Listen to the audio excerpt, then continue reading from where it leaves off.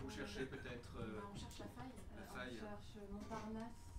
Ah, c'est Montparnasse. Ça tombe bien. Euh, Voilà, Car- euh, Depuis que nous avons 5 ans et que nous avons construit cette cabane euh, avec le canapé et les coussins, nous avons un rêve.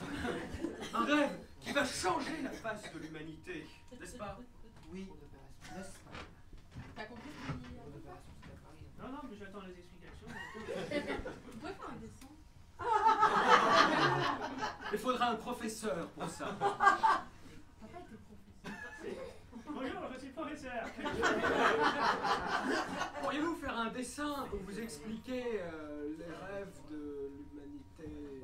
Bien sûr, ça tient en deux lignes. Une première, une deuxième.